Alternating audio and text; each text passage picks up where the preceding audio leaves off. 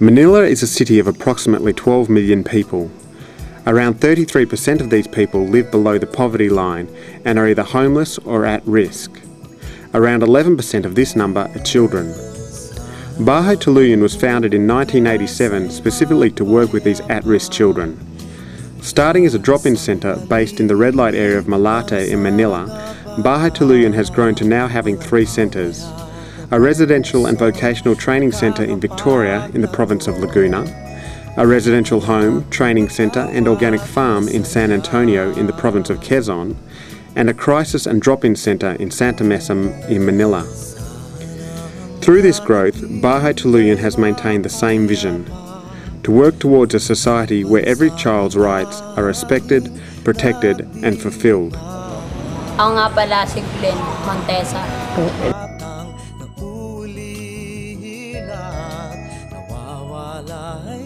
Believing that children should be participants in helping themselves and be active in claiming their own rights, Bahay Tuluyan provides a number of social services to enable this vision, including long and short-term housing, feeding programs, formal and alternative education, incorporating peer-to-peer learning, a technique pioneered in the Philippines by Bahay Tuluyan, scholarships, counselling and case management, legal and medical assistance, networking and advocacy, and vocational training. One of the newest projects is an internet cafe managed and run by the girls in residence at the Victoria Centre.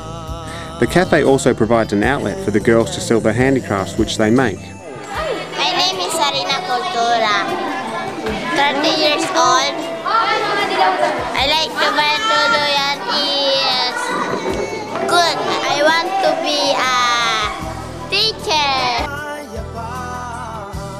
The Alternative Education Program is based upon the belief in the capabilities of children to help themselves.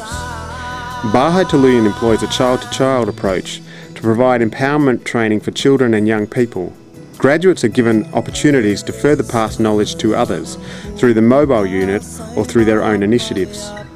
Staffed by graduates of the Alternative Education Program and along with one of Bahay Tuluyan's social workers, the mobile unit visits six sites around Manila each week. Using a specially equipped van called the ICOT Star, the mobile unit visits children providing education on child rights, some basic feeding and case management services. PILAC is an example of graduates initiating their own advocacy program.